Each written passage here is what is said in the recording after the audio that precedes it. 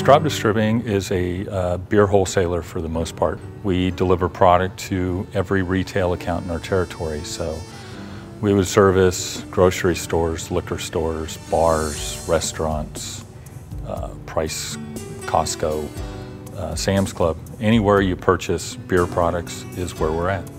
I oversee the risk management for Straub Distributing Company, and with that comes the responsibility of selecting the carrier.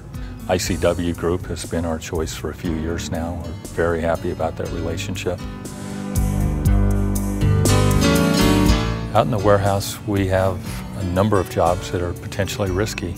Um, those guys need to be focused and nimble when they're working, especially around the machinery. So we employ about 28 warehouse guys.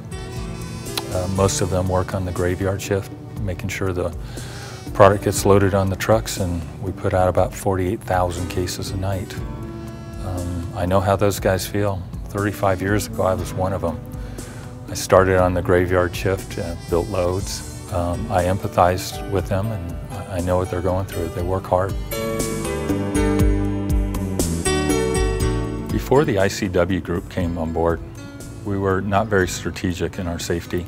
Um, our injuries were up, and uh, we, just did not do a very good job of creating the right type of culture here at Straub. We did do a good job meeting the minimum requirements of the law, but we were checking a lot of boxes and not really engaging with our employees the way we needed to.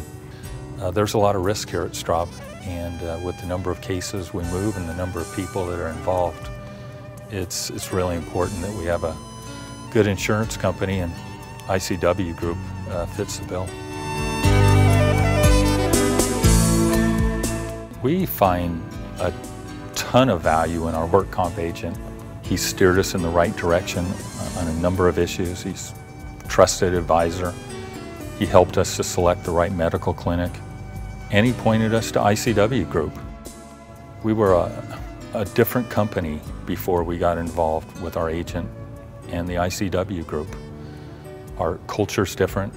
The safety programs are being pushed up from our employees. It's a world of difference from where we once were.